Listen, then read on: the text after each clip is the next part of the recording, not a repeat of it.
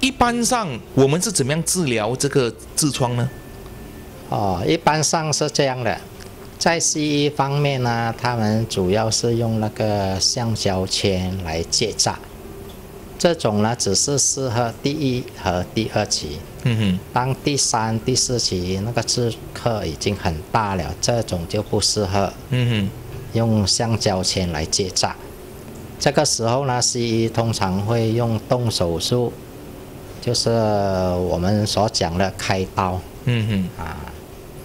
那么在我这方面呢，我是用一些特制的中药哼，嗯哼，来呃涂这个涂在这个痔疮啊，无论是内痔或者是外痔，或者是混合痔，我都用这个特制的中药来涂上去。然后经过两三天，它就会自动的枯干而脱落，而且这种疗法不会产生痛苦，也不会影响到工作，啊，效果非常好。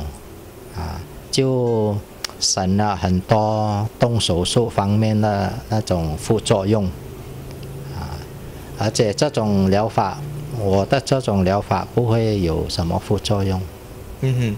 所以一般上，假如啊、病人来接受你的治疗，到整个疗程大概需要多久时间？通常都是，比如说第一期和第二期，通常都是一个星期里面。嗯哼，第一次我跟他涂药，那么过了大概五六天，我再来检查一次，嗯哼，两次就可以痊愈了，就好了、嗯啊。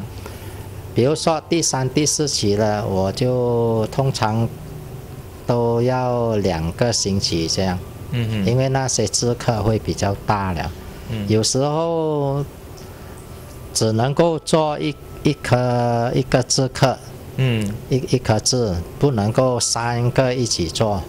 啊，哦所以时间啊分做两三次，所以会差不多要两个星期的时间。嗯哼。OK，那么对于我们槟城网络电视的这个观众们，呃，你有什么样的忠告吗？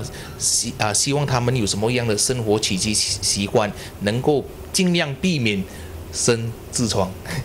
哦，这这个避免生痔疮啊，主要是在饮食方面在饮食方要，注意，不尽量多吃蔬菜水果，嗯然后呢就不会产生便秘。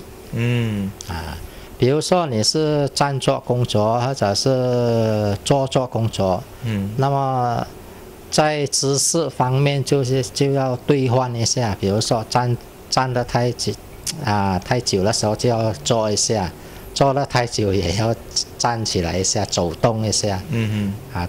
最主要是这两个两方面哼嗯啊，比如说照顾的好，他就不会生痔疮的机会就很低了。哼嗯哼。呃，目前呢，你在北马一带总共有几间医务所？啊，我一共有三间，一间是在槟城，一间是在北海，另外一间是在卢纳斯，即打州的卢纳斯。嗯哼，也就是说，在啊、在这里住在这里的朋友都很容易的、方便的找到你。是啊是，啊那么我有注意到，诶，你的顾客其实也不只是本地罢了，嗯，也包括好像是从外坡过来的。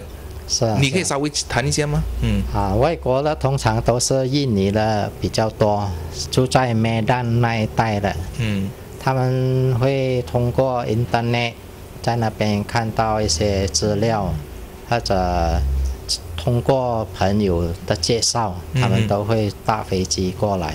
嗯嗯嗯嗯来医痔疮这样。嗯哼。